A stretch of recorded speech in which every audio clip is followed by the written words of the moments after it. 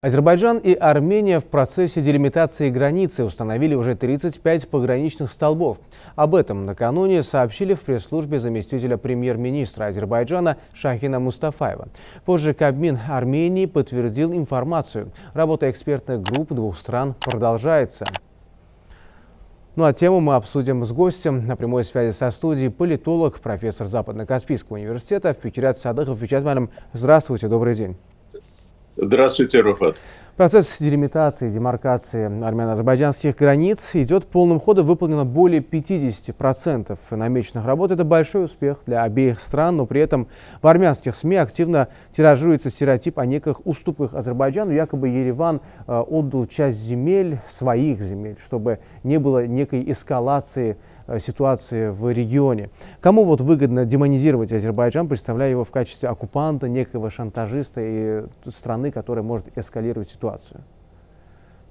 Э, э, реальность она заключается в том, что процесс делимитации, он отвечает интересам обеих сторон. Естественно, этот процесс был начат с большим опозданием, но фактически подписан протокол, прошло 8 раундов переговоров, и в конечном итоге э, сегодня там э, уже э, видны пограничные столбы, которые разграничивают территории двух государств. Они фактически, это все говорит о том, что села, четыре села возвращаются Азербайджану.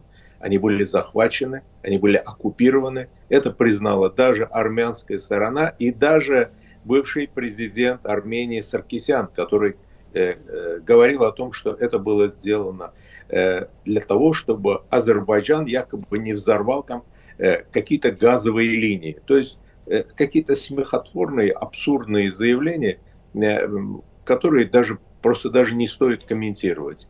Сегодня против этого выступает определенная кучка людей. Именно кучка. Потому что те, кто стоит за ними, это силы, э, которые э, потеряли власть, это э, реваншисты, это радикалы, финансируемые из-за рубежа, надеющиеся на восстановление власти, устранение Пашиняна и восстановление вот тех порядков, которые были в период оккупации азербайджанских территорий. Ну, поезд ушел, ничего они не смогут сделать. Да, они очень агрессивны, они очень радикальны, они выступают, собирают э, какую-то э, категорию людей, но она э, достаточно незначительна, потому что все же большинство граждан Армении, они понимают, что Азербайджан не та страна, с которой сегодня они должны воевать. Они могут потерять еще больше, и жертв может быть еще значительно больше, если они будут себя вести вот в такой плоскости. Э, процесс этот очень э, противоречивый, я имею в виду процесс делимитации, очень сложный, но он идет. И там даже армянская сторона занимается разминированием отдельных участков территории. И я думаю, что э, за этим последует очередь других четырех азербайджанских сел, которые были оккупированы Арменией, которые они должны вернуть Азербайджану, потому что на карте, по признанию самого Пашиняна этих сел на карте Армении никогда не было. И э, этим все и объясняется. Ну, Малям, э, все же значительная часть армянского общества все еще не готова принять новые реалии, которые сложились в регионе после э, Второй Карабахской войны. Какие шаги вот все-таки должно предпринять армянское руководство, чтобы граждане убедились в том, что происходящее в регионе, вот изменения идут исключительно на пользу обеим сторонам?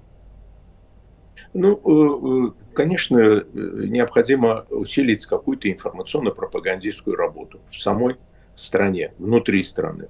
Это и подключение телевизионных каналов, средств массовой информации, какие-то э, должны происходить дискуссии, диспуты, э, представители власти должны убеждать, э, обоснованно убеждать свое общество в том, что эти села никогда не принадлежали Армении. И в конечном итоге э, они должны быть возвращены Азербайджану. Э, но, к сожалению, мы имеем дело с очень противоречивой, не, э, понимаете, не самостоятельной в определенном смысле и непоследовательной властью в Ереване. Что мы наблюдаем? Вот Пашинян приезжает в эти села, он приезжал, и показывая, так сказать, на карте часть территории этих сел, он утверждал, что они не принадлежали Армении. Да, это правильно. Но потом следующим его тезисом является значит, заявление о том, что они должны это сделать, потому что Азербайджан может развязать войну против Армении. Э, то есть это одна сторона вопроса. Сейчас, вот в последнее время, уже после того, как подписаны были, э, подписан был этот протокол, он заявляет о том, что мы не должны бояться Азербайджана. Мы должны быть рядом, э, если даже это расстояние составляет 50 метров, это ничего страшного. Мы не должны бояться азербайджанцев, азербайджанцы не должны бояться армян. Э, вот трудно понять, понимаете, логику и последовательность э, подобных заявлений премьер-министра Армении. И, несомненно, э, с таким политиком, государственным деятелем, с такой властью вести переговоры очень сложно. Естественно, на него оказывается определенное давление наверняка и извне, и внутри страны. Эти э, внутренние силы, они пытаются э, оказать э, уже на него и психологическое, и э, значит, политическое давление. Но в целом, в целом э, я должен э, сказать, что, и я думаю, что это не только мое мнение, процесс делимитации идет, э, установлены пограничные столбы, несмотря на протесты, несмотря на фактически вот э, нежелание отдельных элементов, отдельных политических сил соглашаться э, с такой реальностью, э, мы все-таки добились того, что э, эти села фактически возвращаются Азербайджану. И я думаю, мы будем делать все необходимое в последующем, чтобы были возвращены и другие Э, села, которые еще находятся под контролем Армении. Действительно, сейчас, наверное, да, Азербайджан продолжает делать э, все, и вот процесс делимитации и демаркации, как отмечают эксперты, это первый шаг на пути к подписанию того самого мира, который был предложен Азербайджаном. Э, что будет на следующем этапе? Что ожидать от встречи, которая состоится в Алматы между э, Джихуном Байрамовым и Аратом Мирзаяном? Да, встреча, по-моему, состоится в Астане, насколько ну, я Астане, знаю, да, но Э, я думаю, что э, это э, главный позитивный показатель состоит в том, что здесь нет посредников. И казахстанская сторона, она как раз об этом и заявила. Она сказала, мы лишь предоставляем площадку для переговоров, и мы готовы, так сказать, оказать свое содействие в положительных результатах этого переговорного процесса, который будет проходить на казахстанской земле. Это хорошо.